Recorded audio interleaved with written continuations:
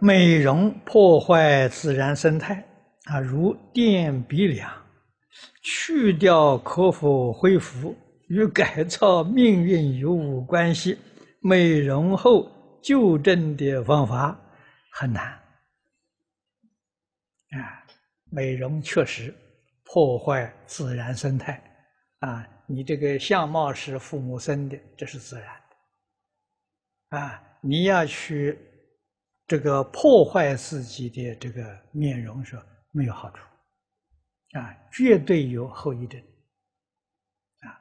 那么我们在澳洲 有一位义工同修啊，他现在就是感觉非常痛苦，他是鼻梁啊，二十年前做的这个这个这个这个手术。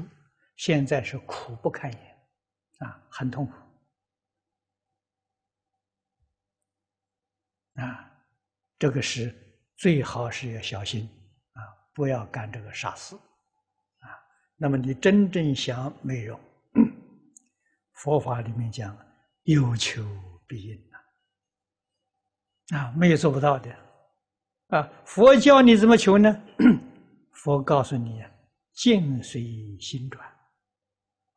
啊，这是真的，不是假的。我们身体是我们最近的一个境界啊，所以身体的容貌、身体的健康与你的念头都有关系。你如果心善、念善、言语善、行为善，你的容貌就变好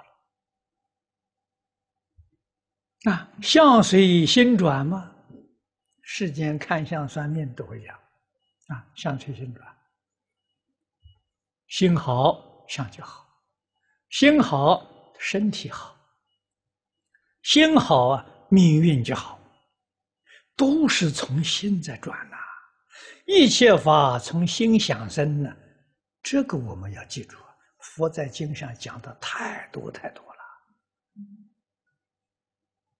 啊，我们常常都常常听到，可是怎么呢？境界一现前忘掉了，还是随自己的烦恼去转呢？这就很苦了，啊！所以一定要常常记住，一切法从心想生。